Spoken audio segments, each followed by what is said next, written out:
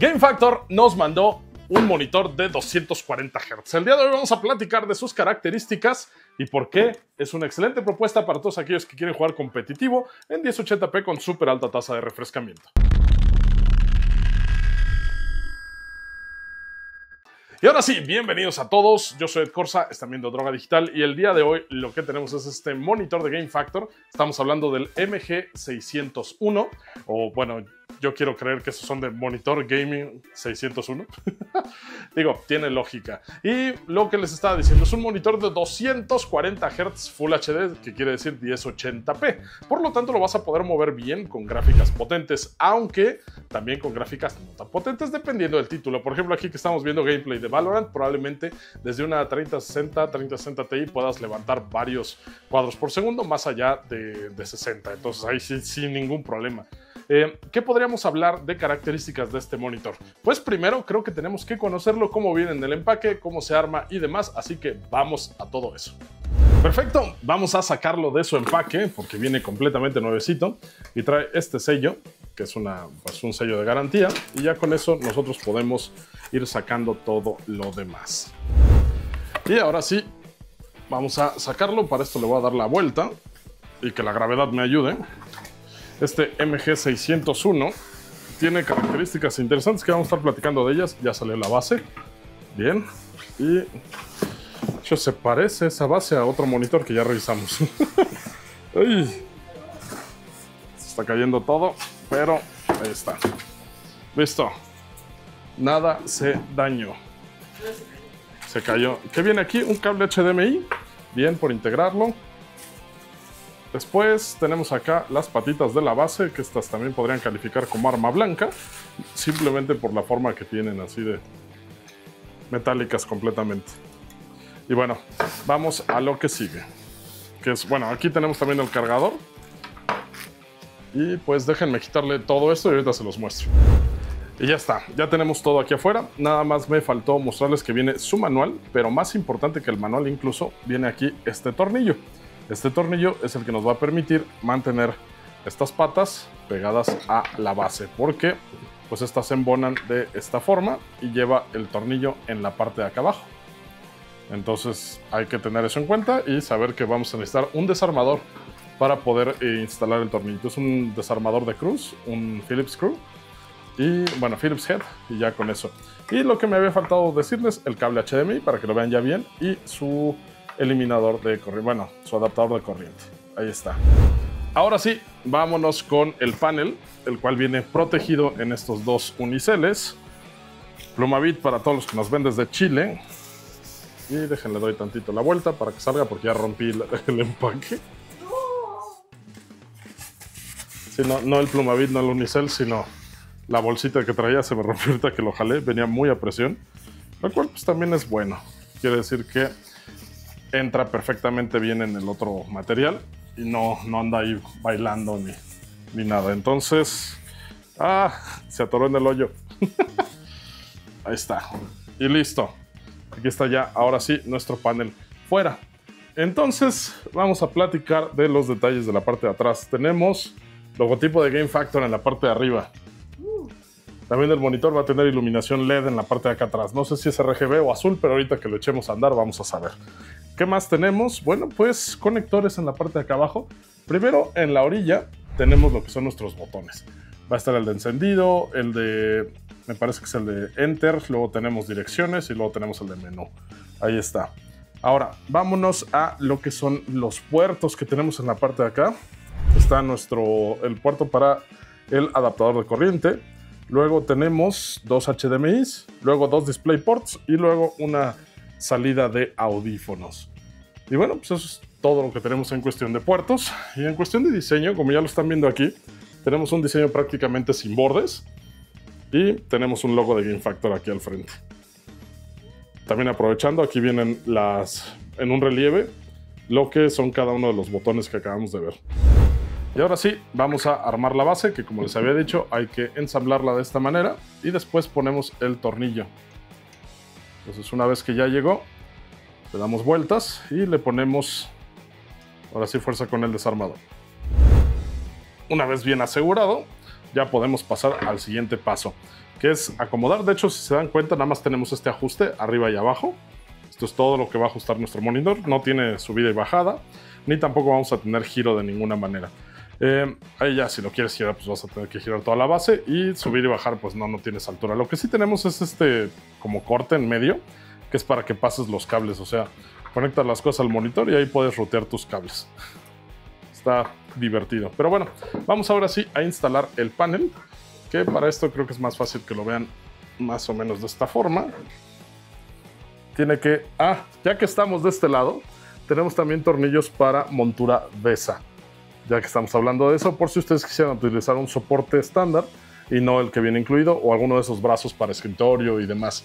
Pero bueno, ya sin más, vemos que tenemos estos como ganchitos en la base y tenemos estos orificios acá. Entonces esos tienen que empatar. Listo, baja y acá tiene que hacer clic. Y ya, tenemos aquí de hecho una paletita que si ustedes quisieran quitar el monitor hay que levantar. Clic y listo. Ya está. Con eso ya pueden articular el monitor haciendo este movimiento. ¿Cómo lo ven? Sencillo de armar, la verdad. Perfecto, ya conocemos varios de sus detalles y cómo montarlo aquí. Definitivamente el hecho también de que tenga sus perforaciones de, montura besa lo vuelven muy versátil en caso de que ustedes quieran utilizar de estos brazos de pared y demás. Pero bueno, también hablemos de color, porque también ese es uno de los puntos que luego suelen ser el, digamos, el donde cojean los monitores no tan costosos. Y bueno, pues aquí lo que nos vamos a encontrar es DCI-P3 hasta el 79%, sRGB 100% y Adobe RGB también hasta un 78% en cuestión de estos espacios de color, lo cual quiere decir que este evidentemente no es un monitor de corrección de color y evidentemente tampoco va a ser un monitor para, pues no sé, eh, alguien que haga fotografía profesional o video a nivel cine y cosas así, pero es un monitor para juegos, donde pues sí es importante que tenga color, pero creo que el tema del color es suficiente con el panel que estamos viendo aquí, que por cierto es un panel BA de súper alta tasa de refrescamiento con sus 240 Hz. Aquí en cuestión de, tiempo de respuesta tenemos un milisegundo GTG o gris a gris, que suele ser bastante bueno en cuestión de lo que estamos hablando de latencia y demás.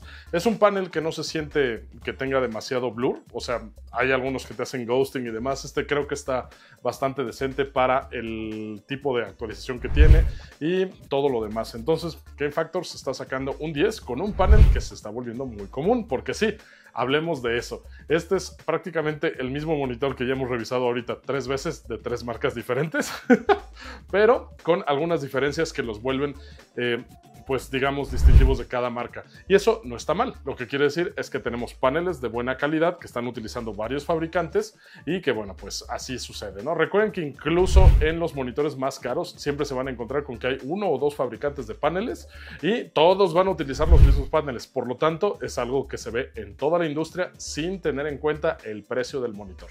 Ahora, de las capacidades técnicas interesantes de este monitor es que es un monitor Adaptive Sync.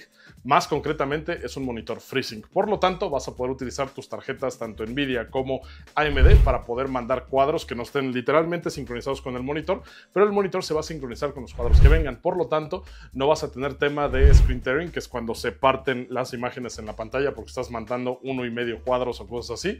Entonces, con eso resolvemos un problema interesante que a veces ah, pues, pasaba con monitores antes de que tuviéramos estas certificaciones. ¿Qué más? De las cosas más importantes para que ganes aún más FPS, tenemos iluminación RGB en la parte de acá atrás. Entonces sí, sí tienes ahí unas, unas eh, lamparitas a los lados que se veían. De hecho, cuando estábamos armando el monitor se veían aquí los estos acrílicos de color blanco que encienden en una rotación de colores RGB. Pero bueno, ¿qué más podemos hacer? Vamos a ver las configuraciones que tiene este monitor para que sepan también que se puede configurar directamente a través de sus menús. Ahora sí, para nuestras configuraciones tenemos por ejemplo la letra E, que es de entrada, donde podemos encontrar las diferentes entradas con las que cuenta el monitor. Aquí tenemos DisplayPort 1, DisplayPort 2 y HDMI 1 y 2 también. Con la letra M vamos a acceder a todo este menú y con las flechas nos podemos poner a navegar. En la fuente de entrada es lo que ya habíamos visto también con la letra E, brillo, contraste, eh, opciones para que se vea mejor nuestra imagen, ajuste de color, gama, modo de imagen, aquí podemos cambiar los presets, película, juegos, este tipo de cosas, igual temperatura de color para cambiar un poquito el tema de luz azul. En ajuste de calidad de imagen tenemos definición y el tiempo de respuesta, que aquí es donde nosotros podemos configurar para que sea pues un poquito mejor en cuestión de los juegos competitivos, control luminoso dinámico, el nivel de negro, todo ese tipo de cosas. Ajuste de pantalla, podemos ver la proporción o relación de aspecto y en este momento está a pantalla completa con la resolución que marca aquí. De hecho, en, en la barra azul se ve la resolución en la que estamos corriendo esta pantalla y también los hertz. Acá en ajustes de audio tenemos para lo que es el volumen o simplemente ponerlo en mute o, apagar el sonido. Recuerden que tenemos nuestro jack de audífonos. Y bueno, la parte de acá abajo donde dice OSD, que significa On Screen Display, es justamente todo este menú. Aquí podemos cambiar el idioma, la posición de dónde está esto, la transparencia, rotación, dependiendo de si tenemos el monitor puesto vertical para que esto no, no quede raro. Y bueno, pues al, al final tenemos otros ajustes, como por ejemplo aquí lo que sería FreeSync, o Adaptive Sync, lo podemos encender o apagar, en este caso está encendido. Los efectos de iluminación de la parte de atrás que también los pueden apagar o dejar encendido y también para reiniciar por completo todas las opciones que tenemos en el monitor. Sin duda los monitores Game Factor han avanzado bastante en cuestión de tasa de refrescado. En colores pues no se pueden comparar por ejemplo con un panel OLED, pero es un uso diferente. Entonces pues ahí está, este es el monitor MG601 de Game Factor.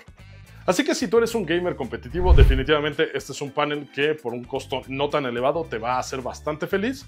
Y bueno, pues también si no te has mudado todavía a una resolución mayor. Recuerda que no por ser 1080p, el que tengas 240 Hz lo hace menos pesado de mover que un 4K, eso también hay que decirlo. Y sí, básicamente cuando tú tienes un panel de 240 Hz 1080p, es como si estuviéramos hablando de tener un panel 4K a 60 Hz. Por lo tanto, si quisieras tú mover todos esos píxeles a esa velocidad, vas a requerir no solamente una tarjeta gráfica bastante potente, sino también un procesador muy rápido para que no te haga cuello de botella. Pero, pues, igual si no quieres jugar a toda la tasa de refrescamiento, se vale. Puedes jugar desde 90 y tener una muy buena experiencia, o desde 60 y tener una experiencia ya más como de juego AAA. Otro detalle a resaltar de este monitor es que sí tienes la salida de audífonos para que los conectes ahí directamente, pero el monitor no cuenta con bocinas. Entonces es también algo para que ustedes lo tengan ahí en cuenta y consigan un sistema de sonido para cuando lo vayan a utilizar, porque el monitor pues, no cuenta con ellas. De cualquier manera, pues sabemos que en computadora generalmente armas todo por separado y eso no debería resultar un problema al final. Aquí la recomendación va a ser siempre conectar este monitor por DisplayPort para que realmente puedas tener toda la tasa de refrescado y no tengas caídas de ningún tipo. El HDMI que incorpora también es suficientemente rápido como para que lo puedas utilizar, pero de todas maneras, si ya tienes una tarjeta de video buena y tienes un monitor que te va a dar todo eso, la recomendación es utilizar la mejor conexión posible y para eso está DisplayPort. Así que al final nada más me queda preguntarte si estabas buscando un monitor de estas características para que pues puedas ver tus monas chinas y todo lo que tú quieras ahí en 240 FPS. no sé, para eso está la caja de comentarios donde te voy a pedir que pues dejes tu opinión y también comentarios, obviamente, acerca de este producto o también qué otras cosas te gustaría ver aquí en el canal. Así como también te voy a pedir que me regales un like si te gustó este video, un dislike si vas a los pobrecitos gatitos bebés que no tienen la culpa de nada y que te suscribas al canal si todavía no lo haces. Recuerda que tenemos redes sociales donde puedes seguir a todo Droga Digital y me encuentras como arroba Corsa en Instagram. Ya sin nada más que decirte, me despido. Soy Ed Corsa para Droga Digital y estamos en el viaje.